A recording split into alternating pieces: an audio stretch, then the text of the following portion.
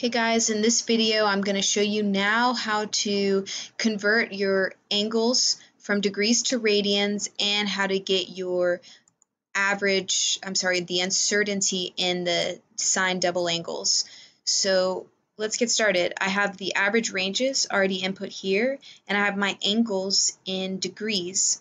I now am going to convert these angles from degrees to radians. Same thing, you can input a symbol just as before uh, using the insert symbol tab. But in this case, starting with underneath this theta symbol I input, I type equals radians, open parentheses, I click this 15.1 degrees, close parentheses, and it gives me the value. Notice I did type 25.0 here, but Excel just truncates that. That's fine because your table in Word is the precision matches the uncertainty there. So I grab bottom right hand corner, I click, hold, drag all the way down, it auto-populates the radian values for all of these angles. And now I need two times those angles, so I go equals 2 times, I use the asterisk symbol, I grab this C2 entry, click equals, and this gives me 2 times all of these values, drag, hold all the way down. Now I'm, get, I'm going to get sine of 2 times these values equals sign, open parentheses, grab this, close parentheses, click, hold, drag all the way down, it auto-populates for me. Looks very nice, even though there are a lot of digits, I'll show you how to reduce later. Uh, the uncertainty in my angles was 0.1 degrees. I'm going to convert that to radians. 0.1 close parentheses, and these are the radians. I'm going to do 2 times the uncertainty in the radians. There we go. And now I'm going to do sine 2 times the uncertainty in the radians. So this equals sine, open parentheses of this value, close parentheses.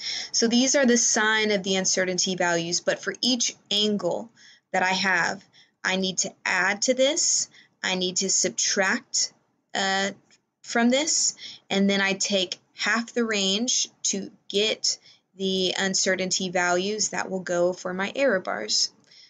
So let's start. Here I have this column. It is titled sine 2 theta. That's the measurement times 2. Take the sine of that plus sine 2 times the uncertainty of the angle. That's what we calculated here.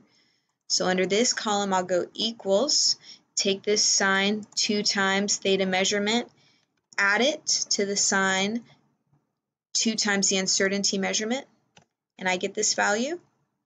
If I grab the bottom right hand corner, click drag all the way down, it auto populates for me. So you can see it has pulled all of the correct values, sine 2 theta plus its uncertainty.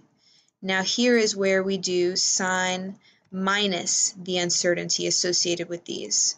So I go equals, I come to this value up here, sine 2 theta, I subtract its uncertainty, right here, sine 2 delta theta. And then I can click, drag all the way down, and it auto-populates these for me. And now the uh, uncertainty associated with each of these sine double angle values equals the range out of these two divided by 2. So I'll show you.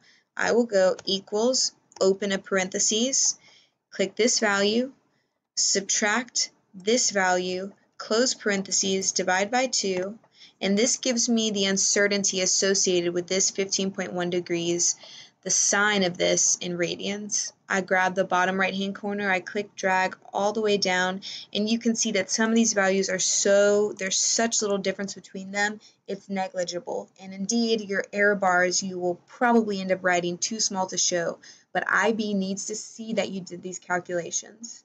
So the uncertainty in the range is 0.07 as before. So far so good.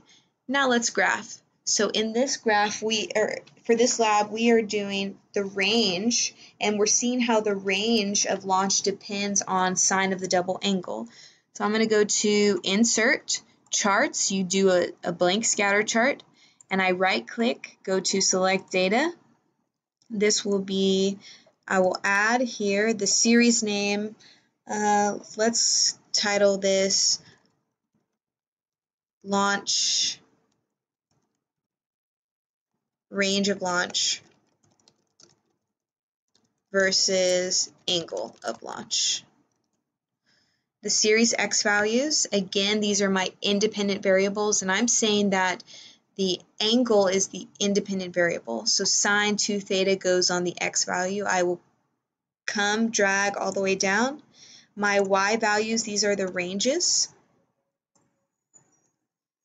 Okay, and click OK. So you can see it's pretty linear. I need to add axes titles. I need to add a trend line, and I want to display the equation on the chart, so I go to More Options. Let me slide this over so you can see. Go to More Options. Um, sorry, trend line, More Options. Make sure these green bars are selected, and I scroll down, Display Equation on Chart and this is the value that I get. Uh, this will be sine of 2 theta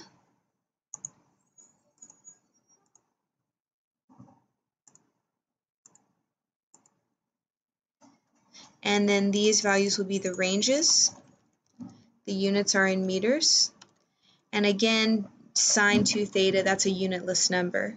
We need to add error bars to this, so we're going to come here, go to error bars, more options, and I have right now, it's automatically selected the horizontal range, which is perfect because that's what we did all these calculations for were these. So we will come here, go to custom, specify value, positive error will be all of these values here, negative error again all of these values here and I click OK. You can see it makes those error bars too small to show. You will need to write that underneath the table in the Word document. And I can now edit my Y values if I click one of the vertical error bars. So I go to custom, specify value. It has a positive error equaling this 0.07 value. And this has a negative error also equal to the 0.07 and you can see that for this lab, just because I did it perfectly using fake data, I all of my error bars are too small to show. So I hope you found this video helpful. Don't forget what the slope of this value means. And look at this, I have a very small value for my y-intercept, but having a y-intercept with these, what, what does that tell you? It, it it, it's associated with some type of error. Hopefully you can remember. All right, so that's all for now, guys. Thanks for watching and study well.